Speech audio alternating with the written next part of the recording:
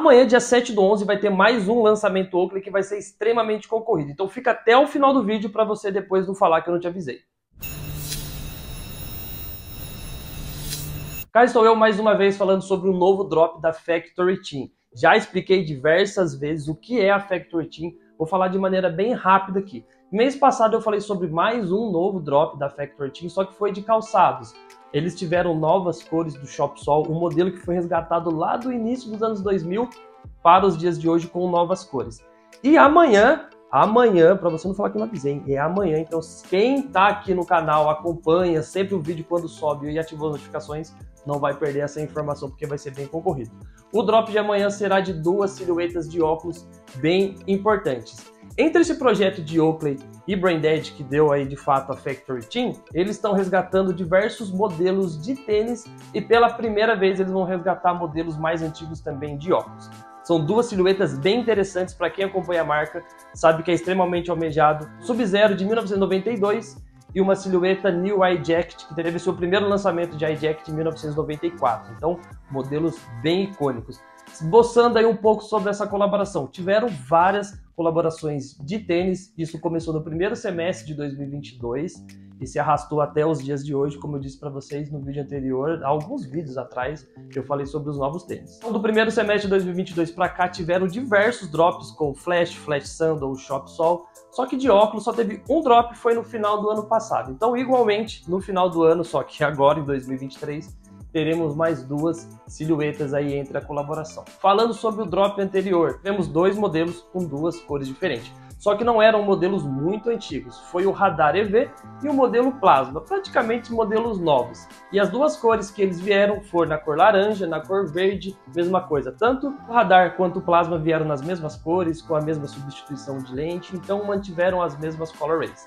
Nesse ano de 2023, que vai ser amanhã, já vou falar também como dá para comprar e onde dá para comprar e possivelmente quanto custará. Nesse drop atual também, como eu já disse, teremos dois resgates aí bem interessantes. E esses dois novos modelos eu tenho aqui na minha coleção em forma de relançamento também, só que de cores diferentes. O primeiro que eu quero falar para vocês é esse daqui, o modelo Sub-Zero. Como eu também já disse, ele foi lançado em 1992 e ele tem até uma brincadeira legal com esse nome Sub-Zero, que seria abaixo de zero. Jim Jarned pediu para os seus designers, para os seus engenheiros de produto, criarem o óculos o mais leve possível. E teve um dos engenheiros comentário, mais leve quanto? Zero? Daí ele falou, less than that, menos do que isso. Por isso, então, foi aí noviado como a linha sub-zero, abaixo de zero. Então, será nesse modelo. Aparentemente, ainda não consegui informações do nome exato da Colorway, mas dá para ver que é uma frame roxa, um pouco cintilante, e as lentes, acredito eu, que sejam as lentes da cor Ruby, ficou bem interessante. Só que ali por conta do grafismo, o que eu gostei de verdade para mim, apesar de gostar muito do modelo Sub-Zero, eu gostei do modelo iJacket, que é esse daqui que vai vir nessa silhueta. Não vai ser na Redux, que é o modelo mais novo, vai ser nessa silhueta OG. Também vai ser na mesma pegada roxa, acredito também que na cor de lente Ruby, porém ela tem uns flames nas laterais, que é um visual até mais agressivo e remete também a modelos do início dos anos 90. O modelo Y-Eject, esse que eu estou usando, não saiu naquela frame com as flames dos lados. O modelo que saiu na época foi o modelo New Straight Jacket. Modelo muito parecido, só que um pouco maior, um pouco mais avantajado. Então a Oakley, junto com a Braindead aí, que de fato é a Factory Team, conseguiu puxar outras referências, na verdade referências de outros modelos para esse óculos aqui, que é super icônico. Esse óculos também é bem importante, pois até o próprio Michael Jordan apareceu fazendo campanha com esse modelo na época. Esse modelo que eu estou usando, ele fez parte do lançamento do final de 2021 da edição Museum, onde a Oakley estava resgatando alguns modelos aí dos seus mais icônicos, juntamente até com essa Sub-Zero, depois aí de alguns meses. Então é um óculos extremamente importante, não só esse New Jacket e não só essa Sub-Zero também. Agora em questão de valores e onde comprar. O valor eu deduzo que vai ser próximo dos 200 a 220 dólares. Por que dólares e não real?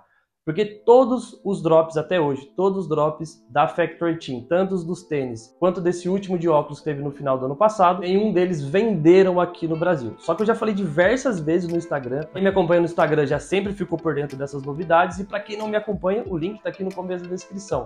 Porém, o site da Brain Dead vende e entrega no Brasil. Se você tiver um cartão de crédito internacional ou pagar por boleto pelo PayPal, é que eu fiz as últimas compras pelo cartão e chegou tudo certo. Já comprei quatro tênis, o óculos eu acabei não comprando ano passado, só deixei os tênis mesmo.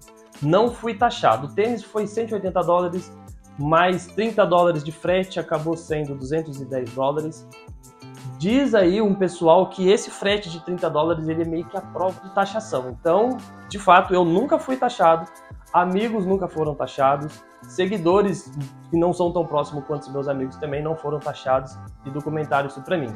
Então, não posso garantir que você não vai ser taxado, mas não conheço histórico nenhum de taxação. Então, se você tiver antenado, amanhã eu vou colocando nos meus stories, vou colocando nas minhas postagens, não sei a hora exata. Eu acho que amanhã, dia 7 do 11, às 14 horas, ou 13 ou 14 horas, aqui do Brasil, estará disponível no site da Brain Dead. Vou deixar o site da Brain Dead aqui também na descrição e lá tem alguns tamanhos desses modelos de tênis do drop anterior que eu mostrei para vocês.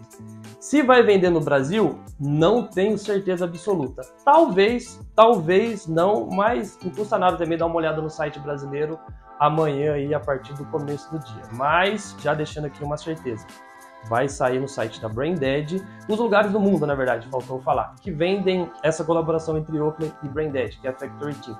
Estados Unidos, no site norte-americano da Oakley e no site da Braindead. Alguns países da Europa, também no site da Oakley, e no Japão também vendeu no site da Brain, algumas lojas da Braindead, na verdade, e no site oficial da Oakley da Braindead. Então, o que eu tenho aqui para passar para vocês? Comprando no site da Braindead, site oficial da Braindead, não da Oakley. O da Oakley eu não sei se vai taxar ou não. Mas, de novo, talvez ali você consiga comprar, só que vai esgotar muito rápido.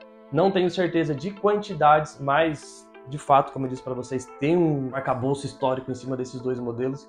Então eu tenho certeza que vai ser bem concorrido e eu vou tentar pegar um de cada para trazer para minha coleção.